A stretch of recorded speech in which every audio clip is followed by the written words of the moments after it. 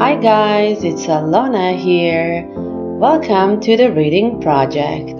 Today we're gonna read a story about a young girl journey, Ida, and her friend the whale.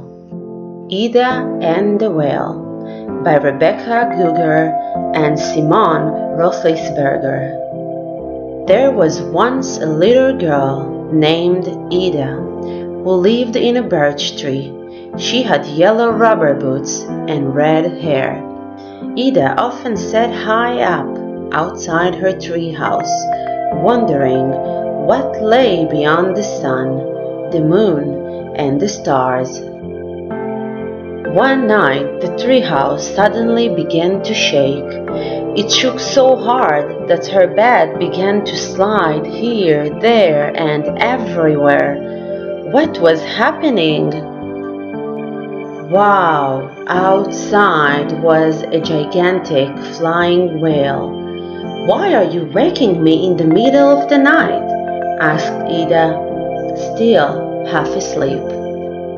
Would you like to come with me on a journey beyond the stars?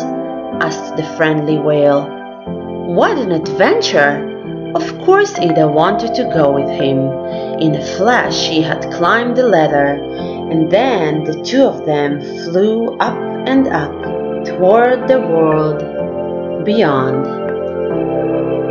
As they flew through the middle of a thick curtain of clouds, they talked about all kinds of things, big and little, ordinary and special, known and unknown. They soon reached a very strange place Everything seems to be upside down. What was the top and what was the bottom? So now what is normal? asked the whale. Sometimes you can only understand others if you stand on your head yourself. They flew upside down until they came to a beautiful green place that was full of sweet scents. Why is the flower flying away? Asked Ida. So that it can grow again, like the rest of us, said the whale. Some quicker, some slower, but all of us grow. Suddenly, thunder rumbled softly, but then it became louder and louder. More and more clouds began to pile up, and dazzling flashes of lightning shot out of them. The storm was wild and violent and left nothing untouched. I'm glad there are two of us, thought Ida. Slowly the storm calmed down, and then everything was still and empty. Ida looked around. Just wait and then look again, said the whale. Sometimes there's more to see than you think. Ida listened to the silence for quite a while, and suddenly she felt lonely and a long way from home. She was so small and so alone. Where was her friend? The whale gave Ida a nudge. Why are you so sad, my little friend? he asked.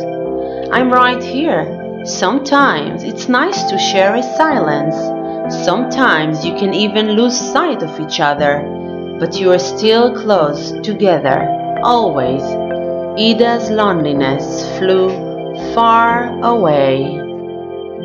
I love you, my flying giant, whispered Ida as the two of them said goodbye. See you soon, they shouted to each other, and the whale disappeared behind the trees. The end. I hope you enjoyed this wonderful story. If you want to listen to other stories, please join our channel. Bye!